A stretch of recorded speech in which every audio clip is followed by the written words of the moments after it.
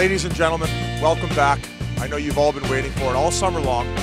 It's another season of Arizona Coyotes hockey, and of course, the segment Road Trip with Biz is back.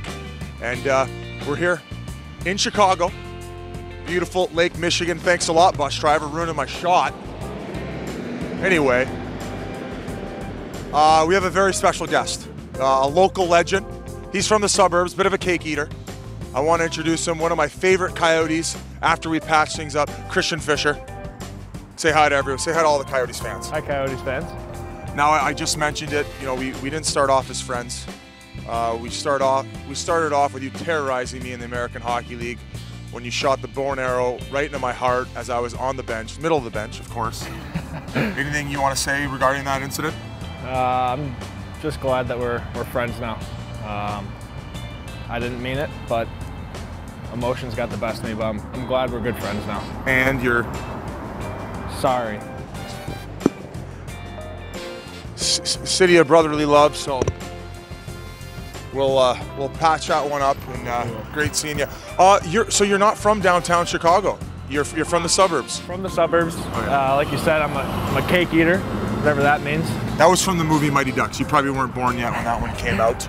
Uh, but yeah, Uh, but yeah, I uh, spent spent a lot of summers down in the city. Uh, brother and sister live, both live down here, and uh, all the fun stuff happens in the city. So this is kind of where I uh, where I go in the summers. and of course off camera you humble bragged a bit about being a season ticket holder of the Chicago Blackhawks. I yeah, my uh, my family. I think we got them in like 05, 06, So uh, All before they got good, before they got good, yeah. So just like every other Hawks fan. yeah, so uh, and we still have them to the date. So that's gonna save me some money tomorrow. Uh, not buying some tickets, so that's nice. Diet, rest, everything is so important in today's NHL. What's been the biggest adjustment for you jumping into the National Hockey League? Uh, I'd probably just say the the schedule. Obviously, 82 games. Uh, every every team's really good. I mean, you, you can't really have an off night where most leagues, uh, you know, you might have that team where you could put up a couple points and not try too hard. So, um, but yeah, you got to be ready for every game, and it's tough to make sure your body is uh, up for it. I agree. I didn't take care of myself, and uh, whoops, out of the league. Uh, let's move around. I want you to show me around the town and uh, maybe get a, even a little bit of a history lesson. Oh, we got a seeker. We got a seeker. We got a seeker. We got seekers. Oh, hey, well, hey. He's got to do it. Fi- not fish, not fish. And just paid your mortgage. Uh, let's let's touch more on the, the Chicago Mission and your in your minor hockey days. You know, of course, you played with Dvorak. Yep. He was a big part of this team, and then uh, later on played with Hin- Vinnie Hinostroza. Yep. I grew up with Vinnie, so he kind of was my into to playing with the mission. Um, I started playing baseball with him when I was like nine or ten, and then he started uh, playing hockey, so I just followed him to the mission, and then that's where I met Devo. And um, yeah, just played there. Vinnie, I never played with Vinnie, but he was always at the rink, kind of bullying me when I was. Well, he, I was bigger than him, so that's kind of a weird thing. When we're 14. You were bigger than Vinnie Yeah, I'm shocked. yeah. we had a, we had a great team there. I won a national championship there with Devo, and Not a uh, big deal. not a big deal. Not a and big deal. Uh, yeah, it was great. One one thing I was surprised at is how many sports all you American guys play. You played baseball. I played baseball, I played golf, and a little bit of tennis too. Ten, oh, Yeah, okay. soft soft hands. Individual sport. Now that's why you're so selfish golf, on the ice. Golf and tennis. Um, how were you as a ball player? I was pretty good, so that was probably my second second uh, favorite sport. If I didn't if I didn't choose hockey, baseball was going to be my number two. Much much like in hockey, you probably would have gotten a scholarship and then completely betrayed them and not went. so let's give a little backstory on your uh, your college career. Yeah, uh, I actually have two credits in my name from the University of Notre Dame. Really? Not a big deal. What were your college credits in? What what's uh, Um, intro to biblical something. I was in Notre Dame, excuse me? and and uh, calculus. I mean, I always joke because to Notre Dame, obviously, really tough school.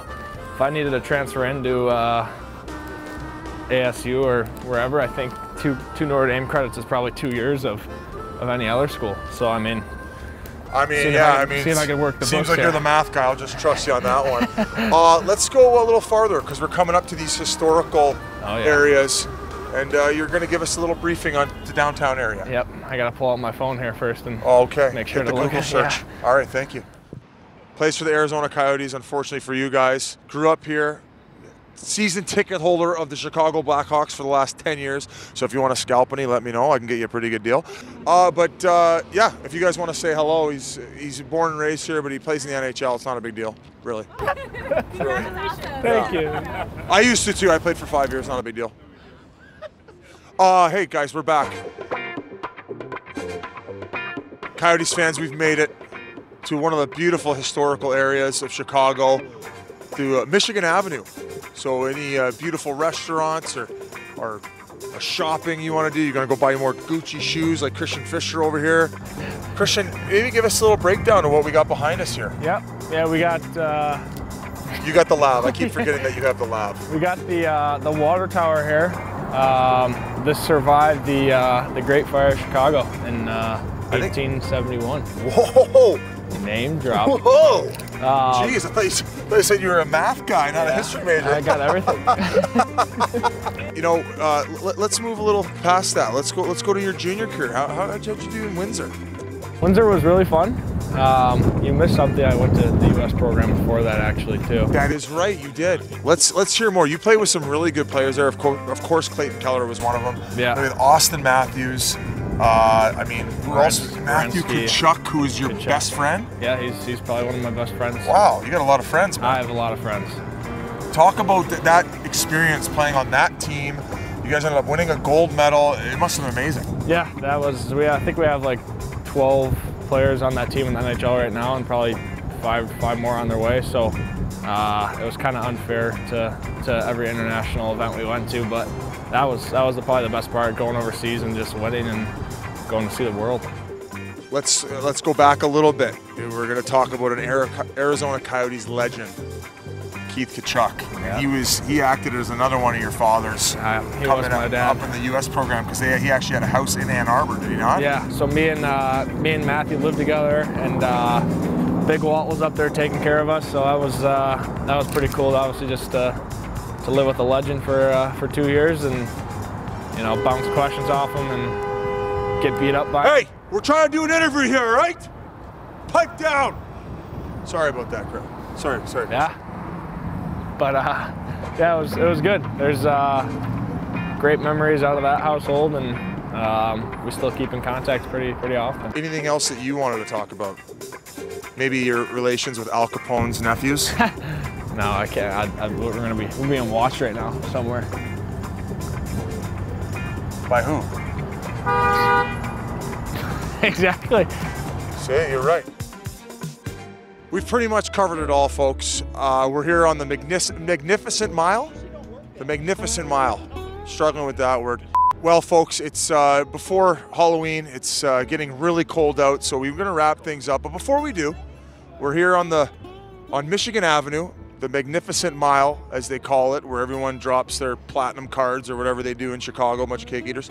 Uh, but I want to thank my new friend Christian Fischer since we patched things up, and uh, he didn't really catch my joke about the city of brother, brotherly love earlier. I thought he was going to correct me with the Windy City, but uh, anyway, thanks for coming out, and uh, Thanks for having me. best of luck the rest of the season. You're you're awesome, man. Thank you. I really like you. I like You're you a good too. person. You're a good person. I didn't. Uh, I didn't correct you earlier on the on the Windy City. You Know why they actually call it that? Um, uh, yeah, because it's windy. Duh. Mm, you're wrong. Really? Yeah, no, it's because back in the 1900s when they would, all the politicians were out, they would just be talking all the time, lying, blowing hot air, like just blowing blowing wind out of their mouth. Oh, really? Yeah, so I don't really appreciate you Sorry embarrassing me, but